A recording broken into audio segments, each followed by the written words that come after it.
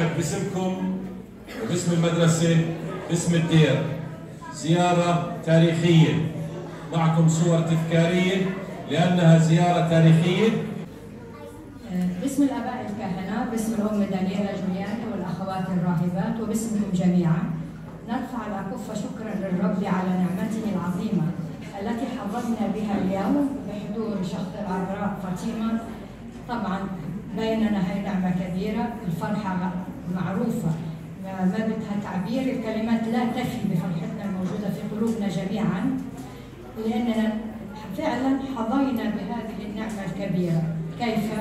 من عند الرب ونشكر عليها واوجه الشكر الجزيل للأب فيكتور الذي رافق شكري إلى قدس الأب رفعت بدر مدير المركز الكاثوليكي للإعلام صاحب المبادرة الطيبة بجلب شخص امنا العذراء إلى الأردن وللأب سيمون. ندعو امنا العذراء أن تمنحكم بركتها ونعمها الوفيره ووفير الشكر للآب آه، رشيد المستريح اللي هو كلكم عارفينه للآباء الكهنة والأخوات الراهبات وطبعا الحضور الكرام ارحب بكم. نقدم صلواتنا بين يدي امنا العذراء عن نية هذا البلد وسلامه وأمنه وعن نيات كل واحد شارك في تقديم الصلوات عن نية هذا الصرح العلمي لترعانا امنا العذراء بالبركات. وأخص بالدعاء والصلاة لأجل الراهبات الفرنسيسكانيات هي مش انانيه بس إحنا العذراء موجودة عندنا.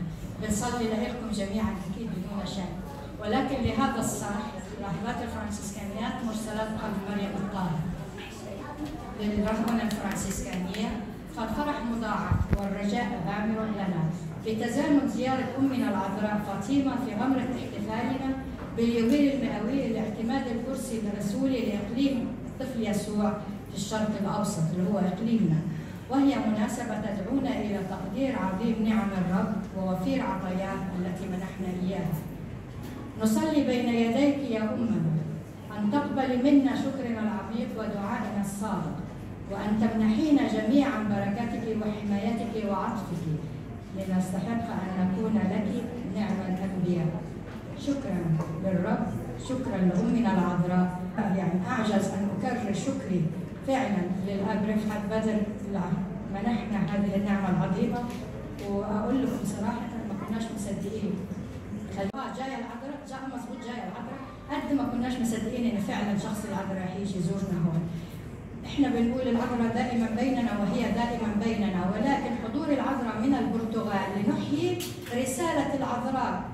رساله العذراء أمنا اللي أعطتها في البرتغال. يجب أن نتذكرها ولا ننساها. ما هي رسالة العذراء؟ على كل واحد فينا أن يبحث ما هي ليتذكر فعلا ما هي رسالة العذراء لنستطيع في حياتنا أن نعيشها رسالة العذراء. السلام في قلوبنا في عائلاتنا في وطننا. هذا أهم شيء. أهم شيء تعطينا العذراء. السلام في عائلاتنا في قلوبنا في عائلاتنا. وفي وطننا والبركة والنعمة. أهم من والصحة أهم من المال ومن كل شيء في العالم. وأن نكون أبناء حقيقيين لابنها الذي قدم حياته فداء عنا. شكرا للجميع ولأمنا العذراء. نقول لها شكرا يا أمنا العذراء. أنت شفيعتنا وأمنا وحمايتنا وملجأنا. شكرا. آمين. في ايماننا في حياتنا المسيحية موقوم فيه هو الصلاة. بنبلش هلا صلاة المسبح الوردية.